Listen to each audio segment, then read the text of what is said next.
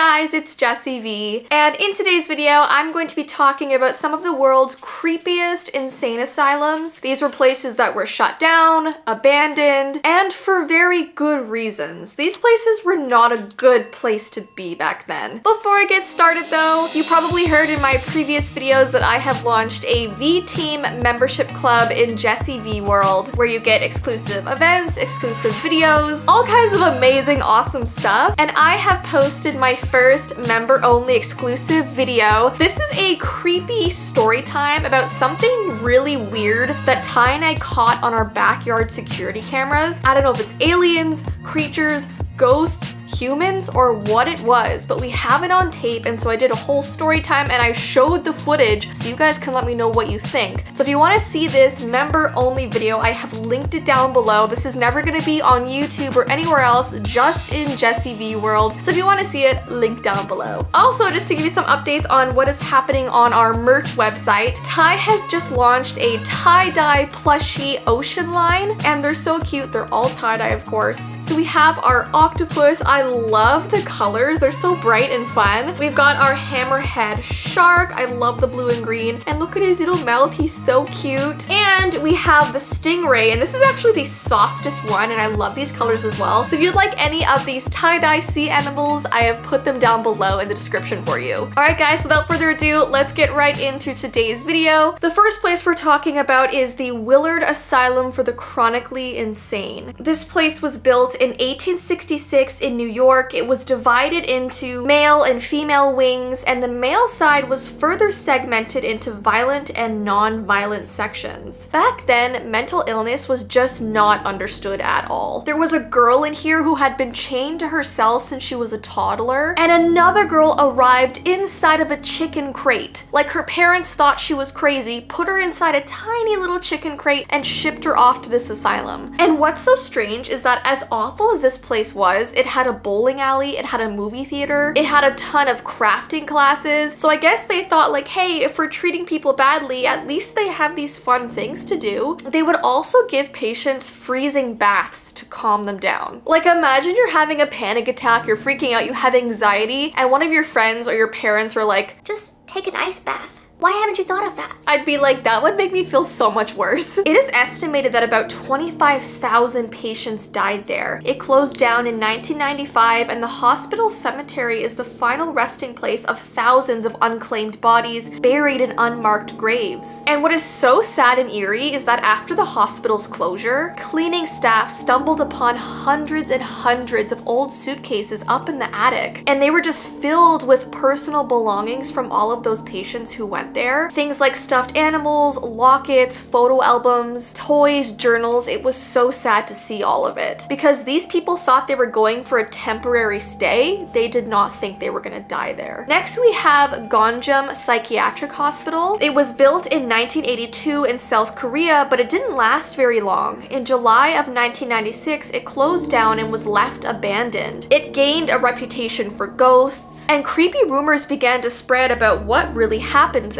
According to legend, many patients died mysteriously, forcing the hospital to shut down permanently. Some believe the deaths were caused by the hospital's owner who was accused of keeping the patients hostage. It's said that the hospital's owner fled to America after the victims' families and government authorities began investigating these unexplained deaths. Another story says that the doctors and directors were driven to madness while working alongside the mentally ill patients, which led the director to end his own life life. And some believe that his death was caused by a ghost who possessed his body and drove him to the brink of insanity. And the many other ghosts that haunt Gonjiam's abandoned halls are the victims of the psychotic doctors and murderous owner. And while the hospital is closed for the living, the former patients of Gonjiam are trapped forever in this place where they all met their gruesome end. Now apparently the true story is that business at Gonjiam Psychiatric Hospital actually came to an end because of finances and not mad doctors. Because of these really scary rumors though, the hospital is constantly getting trespassed by curious visitors, ghost hunters, and a horror movie was even made about this place. The release of the popular movie Gonjiam Haunted Asylum only increased curiosity surrounding the hospital. Ty and I actually watched this movie last year and it is really terrifying. It's about these ghost hunters who go there with their cameras hoping to catch something scary. It reminds me of like paranormal activity or something. I would not watch it again. It was pretty scary. And then lastly, we have Ospedale Psichiatrico di Volterra. I'm so sorry, I just butchered that. But this hospital was built in 1888 and grew to become one of the largest asylums in Italy. It held 6,000 patients at once with 20 sinks and two toilets for every 200 patients. So they definitely did not have enough things for everybody. And it shut down in 1978 after its practices were deemed cruel. It was infamous for its electroshock therapy and there are reports that patients were tied to their beds in straitjackets and the letters from their families were actually hidden from them which is so sad. Iron bars were on all of the windows and doors and spy holes were actually on all of the doors which showed you that they were monitored 24 7. Someone was always watching them. The walls of the hospital courtyard are still covered in the carvings of a patient who was locked inside for more than a decade. His name was Oreste Ferdinand Nannetti, and he drew mysterious runes, symbols, and letters just scratched into the walls along with poems, drawings, and names, and he scratched all of these things all day long into the plaster. It didn't matter if it was morning or night, if it was raining or sunshine, he was always out there carving really strange things into the walls. And the marks in the stone wall have mystified photographers, historians, and psychiatrists for years. Many interpret his work as a manual on how to cope with hallucinations, and some say they are ramblings about high-tech weaponry, spaceships, and magic. So yeah, as you can tell, all of these places have a really eerie history, and people say they're haunted. And I mean, the reason why the most haunted places around the world are asylums and hospitals is because so many people went there and died there under really awful circumstances. Anyways, guys, obviously there are so many asylums around the world. If you want me to do a part two, give this video a thumbs up and let me know. And don't forget if you would like any of the new tie-dye sea creatures or you want to watch the new story time that I have in Jessii Vee World, everything is linked down below. But I hope you have an awesome rest of your day and I will see you in my next video.